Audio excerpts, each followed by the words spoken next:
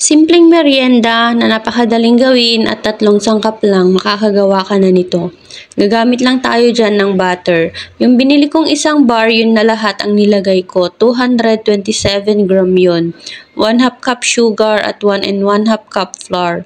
Wala kaming measuring cup kaya naman ang ginamit ko dyan yung ekstrang inuman ng tubig. At dahil request yan ng alaga ko ay dalawa kami ang gumawa. Bali, nilusaw ko lang ng kaunti yung butter para lumambot at para madaling haluin. Tsaka ko lang nilagay yung 1 half cup sugar. Ituloy-tuloy lang ang paghalo hanggang sa magmix na yung butter at asukal. Naglagay din ako dyan ng egg yolk. Optional lang yon kaya pag wala kayong itlog, wag na kayong bumili. Haluin lang ng tuloy-tuloy, tsaka naman nilagay ang flour. One at a time paglalagay, kaya naman naglagay kami ng kalahati sa una, then kalahati sa huli. Mahirap kasi yan i-mix pag nilahat na. Baka nagtataka kayo bakit tinidor at kutsara gamit namin dyan. Mas madali kasi para sa akin kesa yung pang electric mixer.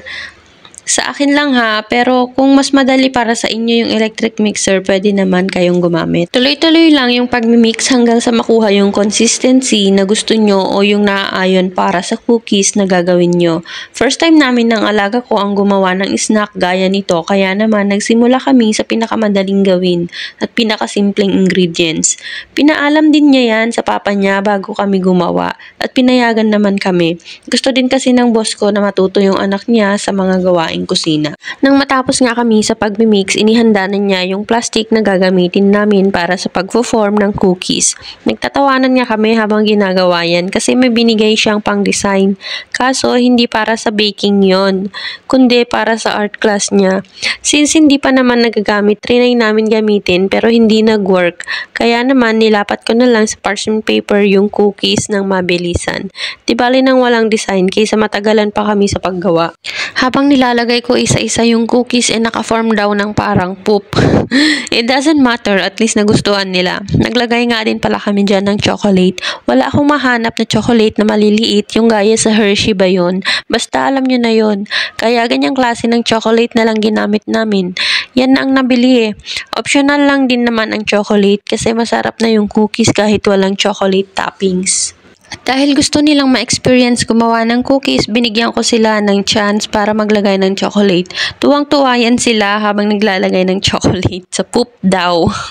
Nang matapos na nga ay niready na namin ang oven at sinimulan nang ilagay ng alaga ko yung unang nagawa namin para matikman na kung ano talaga ang lasa ng ginawa namin. Nang maluto nga ang mga ito ay pinalabig lang ng kaunti tsaka naman tinuloy ang pag-form ng natira pang mixture. Madami-dami pala yung nagawa naming mixture kaya nakatatlong salang ako niyan.